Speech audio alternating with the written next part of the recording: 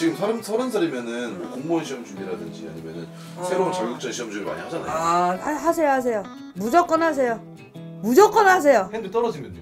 아이 하세요 무조건 하세요 오, 좀 운세가 좋은 것 같아요 이분들은. 좋은 사람은 좋지 오. 찬스야 곱하기지 뭐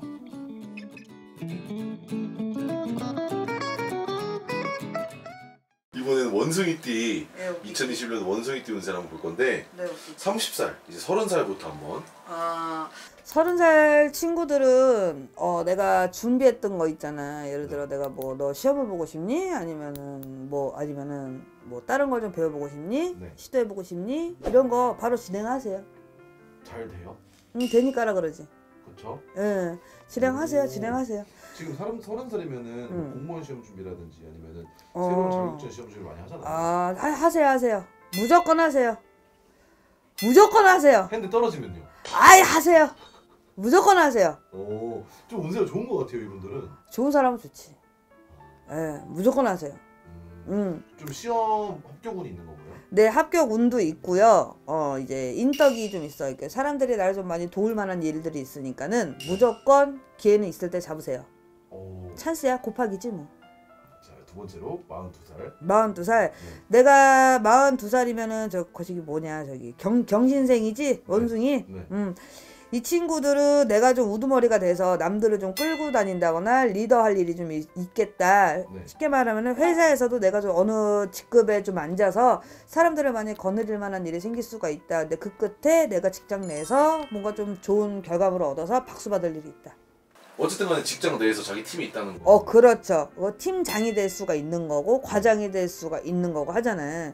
그러니까 그 끝으로 내가 좀 그 내 더 위에 사람한테 박수 받을 일이 있다라는 거지. 왜 내 팀원들이 잘해서. 그러니까 음. 죄송한데 내가 잘해서가 아니라 내 밑에 사람들이 잘해가지고 조금 좋은 결과물을 나도 숟가락 같이 얹을 수 있는 기회가 있다.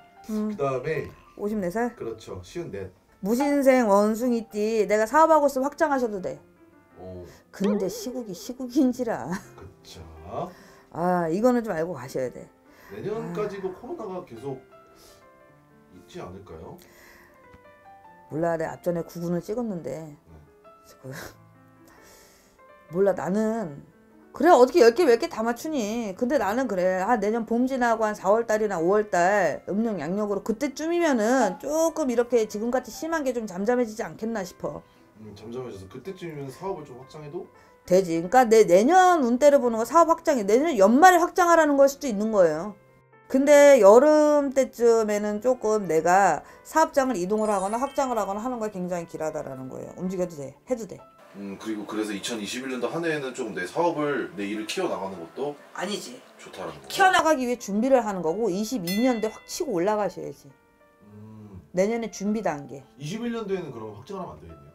하는데 확장하자마자 막 붐하진 않잖아요. 네.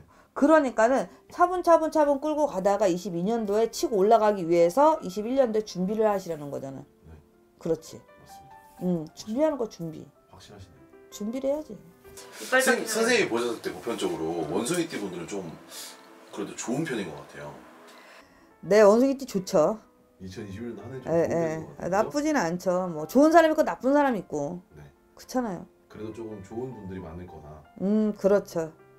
음, 어쨌든 간에 사업을 하시는 원숭이띠 분들은 예. 대박이 난다는 거니까 괜히 또 사업을 안 하시는데 사업을 하시는 거죠. 아 그만 멈추세요. 멈추세요. 시국이 시국인지라 구군도 생각을 하셔야지. 알겠습니다. 감사합니다.